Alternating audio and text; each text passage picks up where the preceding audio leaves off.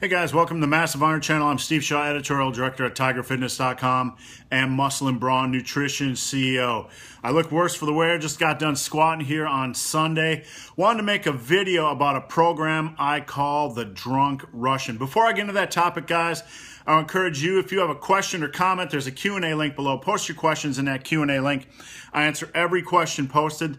The best questions I turn into a Q&A video, which you can find every Saturday on this channel.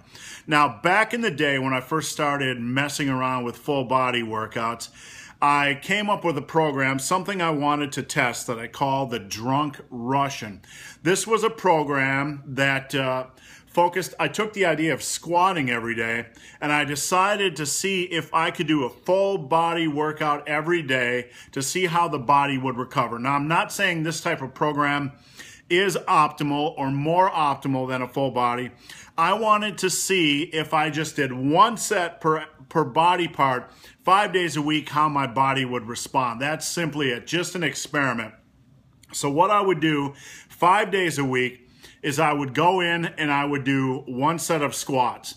Then I would go in and do a chest exercise. What I did exercise wise or rep wise varied each day. I just did what I felt like doing. So I might go in and hit a triple on bench press when I'm fresh on Monday. I would do this from Monday to Friday.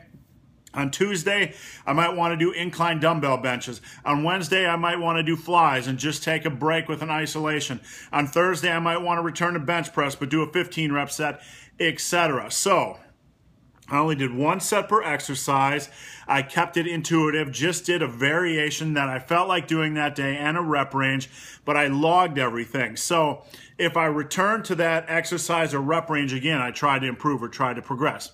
So I do a set of squats, a chest exercise, a back exercise, a shoulder exercise. Then I would do something like leg curls, um, one set of leg curls, and then a quick arm um, back, or excuse me, a bicep and tricep exercise. But with the bicep and tricep, I would alternate. So I wouldn't do both of those each day.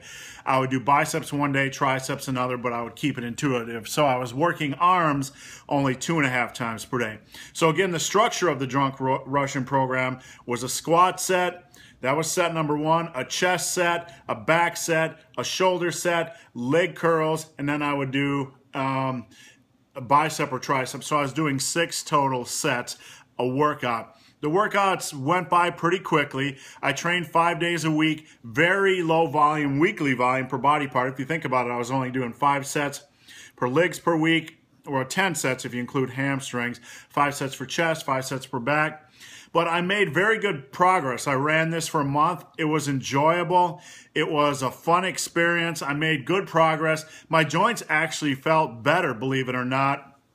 I think because the volume was lowered, even though the frequency was there. So it was a very interesting program. It was a kind of program that I found out that it wasn't sustainable, obviously, but it was an interesting type of approach and I think it's a good approach for those of you that are, what it basically hinted at is for those of you running full body workouts and you're doing the three sets per day and your workouts are getting a little too long in the tooth, it's okay to progress down to two sets or even take those deload days when you're just beat up or you're tired or whatever and only do one set per exercise. So you could still make good progress doing that. But if you ever want to try something really crazy, really crazy, try the Drunk Russian program. Don't go real. If you're going to do heavy sets on the Drunk Russian, I would recommend doing it on a Monday when you come in fresh. So maybe doing a heavy triple or you know five rep set for squats or bench on the Monday maybe on the following week if you want to do heavy deadlifts or shoulder head or, or a shoulder press movement you could do that so you could kind of alternate your heavy weeks but do them on monday after a couple days rest. So guys i just want to talk about that program in this video was an interesting experiment. It showed that the body could adapt really to anything as long as the volume is in play. A lot of guys will ask if you can do crazy stuff like this and really you gotta you gotta learn to balance volume intensity and frequency. You can really do anything in the gym as long as you have a good balance between volume intensity and frequency. So guys, hope this video has been of some help. If you have any questions or comments, guys, there's a Q&A link below. Come on over, post your questions in that Q&A link. I answer every question posted. The best questions, again, I get uh, get turned into a Q&A video for Q&A Saturday. If you've made it this far in this video and have yet to subscribe to my channel, please do. I'd appreciate the support.